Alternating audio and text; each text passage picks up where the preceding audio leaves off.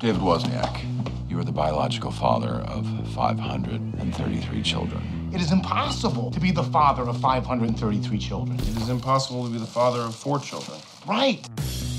David sets off to meet some of these kids and slowly realizes that he does feel a connection between him and these kids. They need a guardian angel. They need someone to look out for them. Action!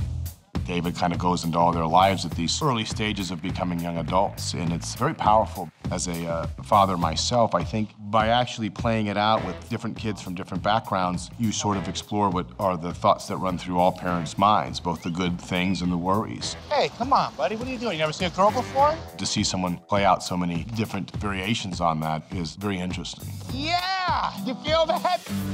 He kind of goes on a quest by contacting some of his children, not as himself, not as their father, but as an outsider and sort of a, a guardian angel in a way.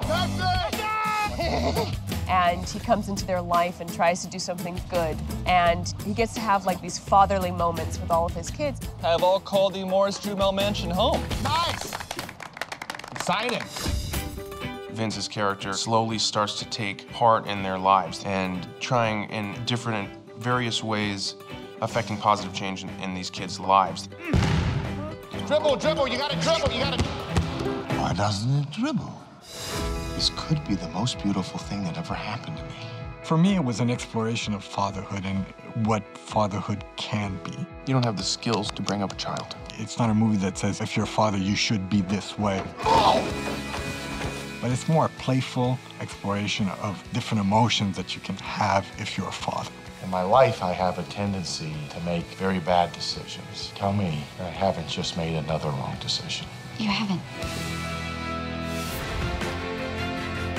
Underneath it all, I think the movie really is about family and about finding your way. I think there's an underlying optimism and warmth and love to the film that's very powerful. For the First time in my life, I think I'm doing the right thing. When you're looking out for these kids, will you be wearing any kind of cape? I didn't say superhero, I said guardian angel.